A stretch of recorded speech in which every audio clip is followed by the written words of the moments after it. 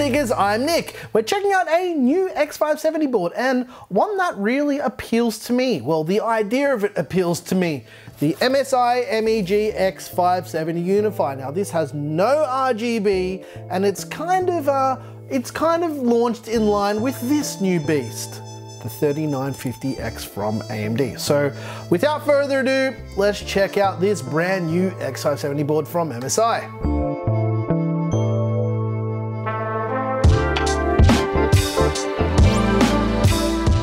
This is not meant to be a review of the X570 Unify, it's just an overview so you can get an idea of what's on the board when you buy it and what physically comes in the box. So with that said, let's take a closer look at the X570 Unify from MSI.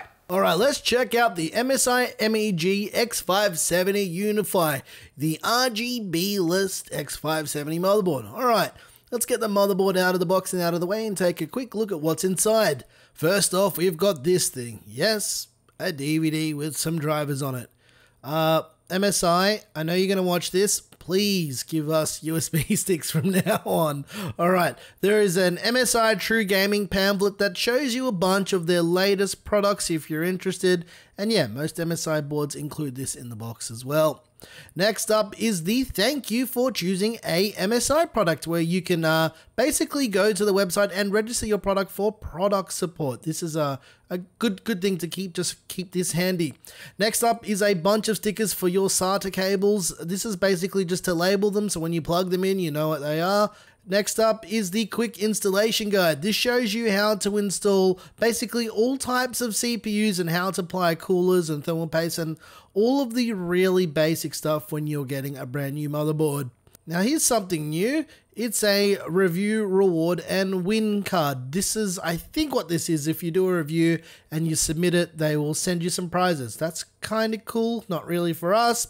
And now here is the manual. Now this is the good stuff. This has got all of the things that will help you with overclocking and what memory is compatible with it. And basically everything is on the board as well. Alrighty, let's crack open this fabric bag full of all the cables that are included with the motherboard. First up, we've got some SATA cables. These are to connect up your 3.5 inch spinning rust drives or your 2.5 inch SSDs. And yeah, it comes with four cables in total. There's also a selection of RGB adapters and splitter cables. There's some here for 12 volt RGB and addressable RGB as well nice feature. And there's also a Corsair cable as well for connecting up into a Corsair lighting hub. There's also a bunch of M.2 screws for the three M.2 slots on this motherboard. There's a Wi-Fi and Bluetooth 5.0 antenna that plug into the motherboard to enable the wireless and Bluetooth 5.0 support. And yes, this is Wi-Fi 6. Last but not least is the MSI True Gaming sticker. If you use this on your case or anywhere on your computer, you're guaranteed about 55,000 extra FPS in any game at 8K. Not really. I, I, I just I just made that up. Come on now.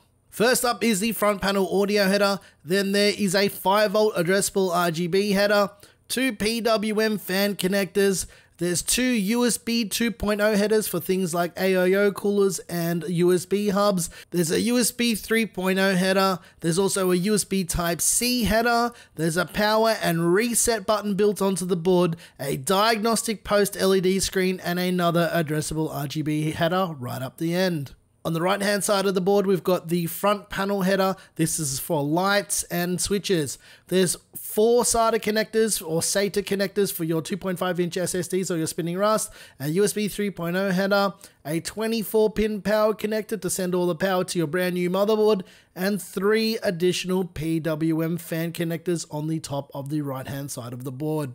Along the top side of the board, we have a Corsair RGB header, another 12 volt analog RGB header, two additional PWM fan connectors, a giant and pretty thick VRM heatsink, and last but not least, two 8-pin EPS power connectors to send all of that juice to your brand new 3950X. There's a selection of PCIe slots. The top slot is the 16 times slot, and there's also a one time slot, another 16 times sized slot that's wired in 8 times, and the last one is a 4 times PCIe slot right down the bottom. Like most X570 boards, this has an actively cooled chipset.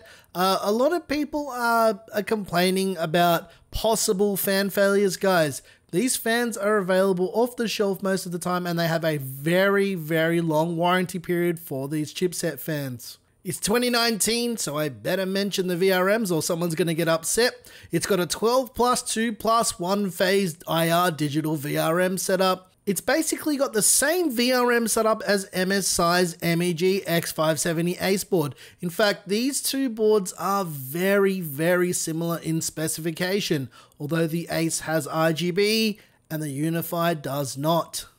Alrighty, let's uh, take off the heat sinks for the M.2 slots and take a look at what lies underneath. There's a total of three M.2 slots on this motherboard, so you can put in three M.2 drives for storage. I'm not sure if all support PCIe Gen 4, but at least one of them does support PCIe Gen 4 drives. Because this is an AM4 board, it has a standard AM4 socket like pretty much all AM4 boards and the standard cooler mounting so you can mount any AM4 compatible cooler to this motherboard. It supports DDR4 RAM in a dual channel configuration with overclocked memory up to 4600 MHz. There's a clear CMOS button and a BIOS flashing button, the antenna connectors for the Bluetooth 5.0 and Wi-Fi 6. There's a bunch of USB ports and a PS2 port. There's a USB Type-C port. There's 2.5 gigabit Ethernet, 7.1 digital surround sound, and an integrated I.O. shield.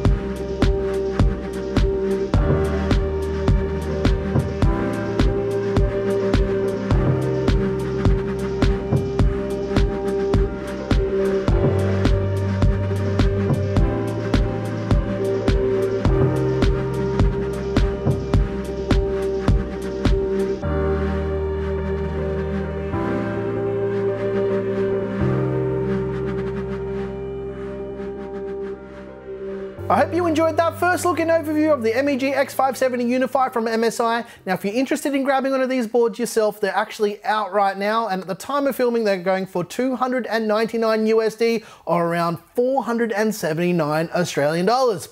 If you like this video, please like and subscribe. If you like this video, you're not doing, tell us what you hated about it. Once again, thank you so very much for watching. I'm your boy Nick with Gear Seekers. You peek, we seek, and ladies and gents, we have at least two builds coming very soon with the 3950X and at least one build coming very, very soon with the Unify. Now, personally, the lack of RGB for me is really, really nice. And yeah, it, it just means we've got to be a little bit more creative. So yeah, thanks for watching.